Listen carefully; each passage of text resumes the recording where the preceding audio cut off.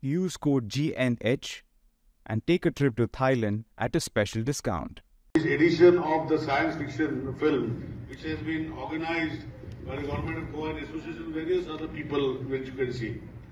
Well, first of all, I'm thankful that you all are all here for the eighth edition.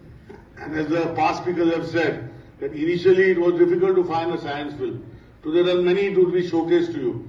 And I'm sure your inquisitiveness, all my young friends who are here, will be part of this entire thing to learn something from it. And maybe down the line, maybe as the speakers have said, various speakers have said, you will come out with something more. And that is what we are all here. I remember when I was young, I'm still young, huh? Am I young? I look young or I look old to you? Old, very good. Old, no, I look old I look young? Young, that's good, thank you. But when I was in younger, more, more, younger days, when I was very young, I remember we had a very old telephone. And to call somebody, we had to call, we had to call, a, we had to call a trunk call booking number. We would call and then they used to connect you. They used to tell you that the call will come at 10.15 or whatever, 11 o'clock. Today the world has changed. It's because people like you, not like because of, because people of me. Because people like you have ventured into science, technology, inventions, and today if you want to see, we have a mobile here, the phone is in my pocket, call it at any time, don't have to wait for anybody. I'm not sure when I become old, I will just stand here and I will lift it to go to a different place. And that is what you all have to vie for. And just, just this is what the innovations are. Today, if you see, plastic is also one of the best inventions which can be part of this universe. But it is also a menace today because we don't take care of it. Plastic has taken care of a lot of things where in the past we used to see a lot of things maybe wood was used. Today it has been changed. But then what happens is it becomes a menace because we don't dispose it together. And I know today, just before we could come here, all the dignitaries were sitting together. We were waiting for each other one to assemble. And then we are coming forward to you.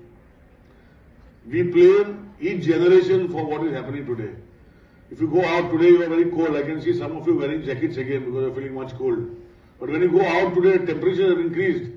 And each one blames, we blame the past, we blame our politicians, we blame everybody for being part of the warmer environment. We talk about goals, ecological goals, climate change goals. We talk of so many other things. But as my young friends today, I would like to sincerely ask each one of you that what are we as young friends doing to keep this ecological disadvantages for our next future? Now you are all young here, there are old people like me here also. But my young friends here, if we don't do what we are supposed to do, all the eyes together who are here today, if we make a change in ourselves, and if I start taking care of my own ecology, if I take my care of my environment, like say you grow a tree, see that tree grows along with you. You don't throw plastic or you eat a chocolate, you don't throw it on the street. You take it, back home, dispose in the right direction. I think these eyes can make the future of this world. These eyes can make a change. And that is what we are all vying for you. Well, I'll not take much of your time. I'm happy here that my mentor, Sri Manohar Parrikarji, who's, who's no longer with us here, but he's been always inspiring and I, I think that maybe I try to follow his footsteps. I try. I'm not saying that I'm following his footsteps because he's a man of great vision, responsibilities. And maybe as you grow, you don't know, maybe you will not know Mr. Manohar Parrikar. Maybe you are young, but I know Manohar Parrikar and we should all know what Mr. Manohar Parrikar has done for the state of Goa and has done for the entire nation as a defense minister.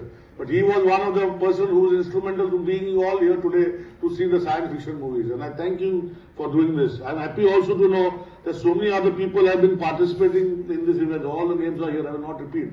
And I'm sure with the involvement of all these people, as you grow, as you come next year for the science uh, festival, there will be more things to be seen. So with these few words, I know you want to watch the film. I will request you once again that I, that, that I, what Honorable Prime Minister is asking you all to be, is you all eyes. Go Goa News Hub.